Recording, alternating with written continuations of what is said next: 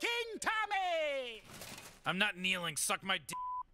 Well, hello, all. I am the king of Froopyland, but I go by another name, too. We know. It's Tommy. We know. We know. I have lived here since I was a mere child. We know. Got it. I suppose you're wondering, how do I sustain myself? Oh boy. No, we aren't. I always find the theater is the best way to clarify things. Seriously? Oh my god. Players, go!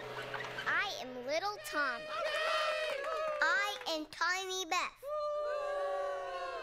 Oh, come on. Come with me to my magic world. This is my secret Froopy land, where I have no rules. I am excited. I am jealous of Tommy's friends and his Nintendo, and his dad likes him. I take it Tommy wasn't class playwright? Do you want to see the honey swamp? Yes, let's do it. Well, I want to see you dead. Ow, help! I'm stuck. I'm covered in honey. Huh. Well, that's interesting. Fake news.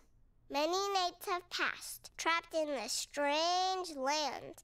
I am hungry, and all I could do to pass the time is hump. I will hump this rock. I will hump this tree. I will hump this beast of the land and put my seed in it.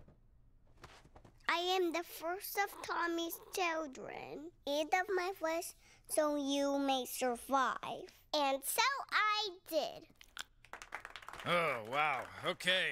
Yeah. Certified fresh. Good good job. Perhaps a demonstration is in order. No, that is the last thing that is in order. Oh Poor Froopy God. character. Leave him alone. Gather round, gang! Dinner time! All right, that's it. I'm out of here.